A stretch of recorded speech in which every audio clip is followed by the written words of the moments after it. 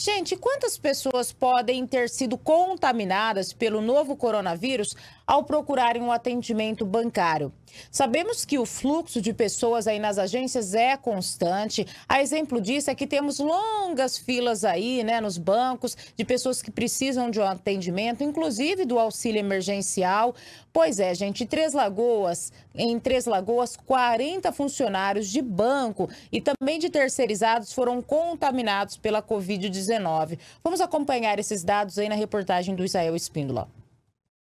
O fluxo de pessoas que entra e sai das agências bancárias é intenso. O ano passado, as longas filas se formavam diariamente nesta agência da Caixa. Pessoas que precisavam atendimento para o auxílio emergencial e do saque do FGTS. Nesta linha de frente, os funcionários das agências bancárias ficaram mais vulneráveis à contaminação do novo coronavírus. Temos monitorado, realmente é um número bastante expressivo, né, que afeta a categoria bancária, que tem estado desde o início da pandemia é, na linha de frente, atendendo a população.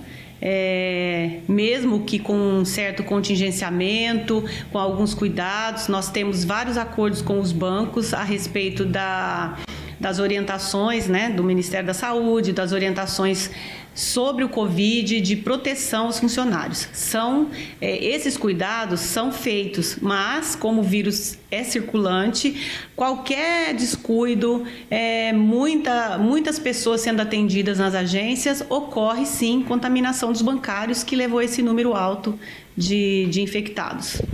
Em Campo Grande, o Sindicato dos Bancários precisou interditar nesta semana uma agência da Caixa depois que seis funcionários positivaram para a Covid-19.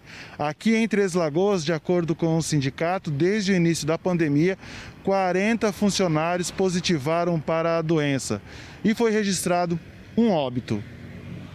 A mulher tinha 34 anos e faleceu no início de maio. Ela era funcionária desta agência bancária no centro de Três Lagoas. De acordo com a presidente do Sindicato dos Funcionários de Bancos, atualmente uma pessoa está afastada por Covid-19 e essa morte acabou abalando o emocional de outros funcionários em agências bancárias.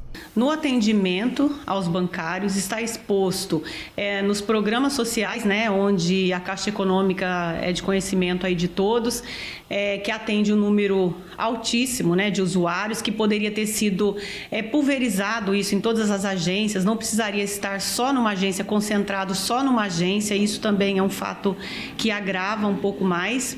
E infelizmente nós tivemos aí a notícia de uma moça jovem, saudável, que foi acometida pelo vírus e que veio a falecer. E isso gera nos outros bancários que estão ali trabalhando é, muitos problemas de, de psicológicos, as pessoas ficam afetadas, mesmo porque de todos esses funcionários que já tiveram Covid, muitos continuam com sequelas, é, fazendo tratamento psicológico. Então, é uma condição que para nós é a única forma ali de minimizar isso, é o que a gente tem pedido, tem é, tentado, é fazer com que os bancários tenham prioridade, que não sejam só esse, um serviço essencial, mas que seja um serviço que também seja prioritário na questão da vacinação.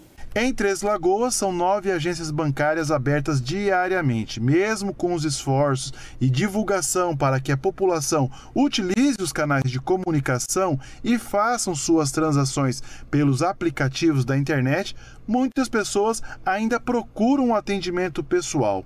Diariamente, mais de 200 pessoas transitam nas agências aqui da cidade. A presidente do sindicato alerta para que as agências sigam todos os protocolos de biossegurança para assegurar a integridade não só dos clientes, mas como de seus funcionários.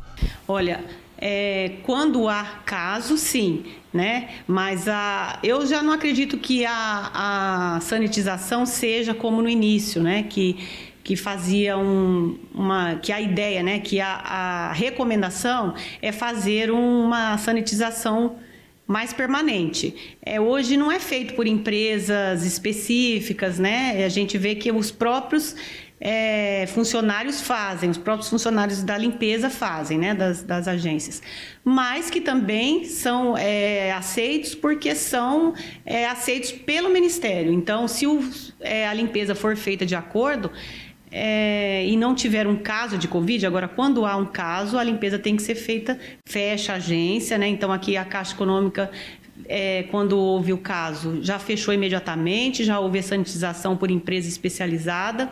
Então, é, é, importante que se faça a sanitização. Agora, no geral, estão sendo feitas as limpezas, né? Os cuidados, os funcionários têm que ter, a limpeza, o banco faz a limpeza, é, mantém álcool em gel, mantém toda, é, é todos os protocolos.